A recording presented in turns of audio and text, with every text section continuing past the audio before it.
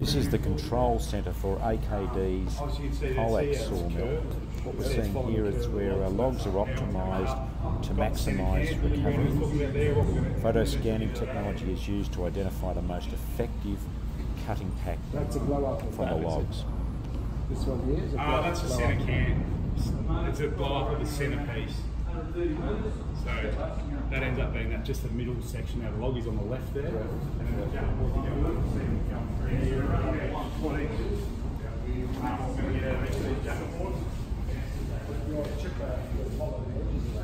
Uh, but th- there's no curve storage there, so it's done the best it can there. There'll be no, this one has no curve storage. The, one on the other end has curve. So we'll see this one here. So,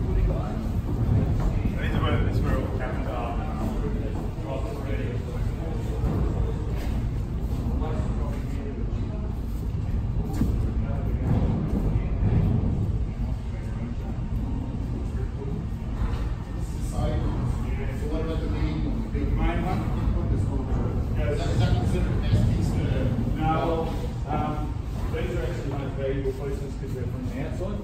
The main one has a mixture of sapwood from the outside of that can, you know, that can, Yeah. as well as forward in the middle. See that air coming through the blast so. These jacket boards are the most valuable part of the logs.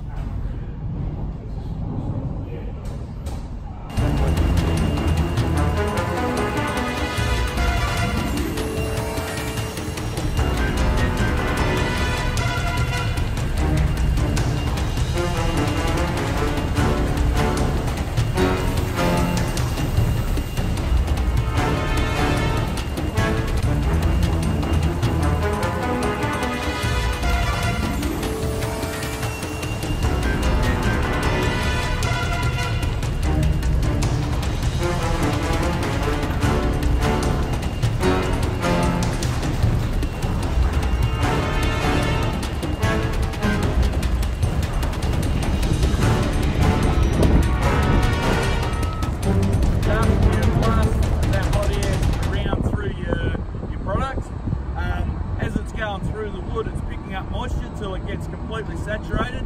Then you open a vent, you vent out that saturated moist air, and you pull in cold dry air, and then you reheat that dry air so it holds moisture again. And you go through that cycle until you've got all the moisture out of your wood horribly inefficient because you're throwing out a whole lot of uh, air and you've got energy in turn warming up. These are completely different. These are about 100%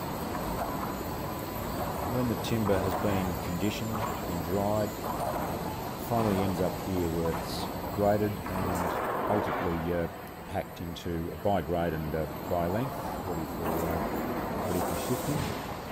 The same photo scanning technology is used here where boards uh, are photo scanned for, for the grading purpose and also the length of the logs.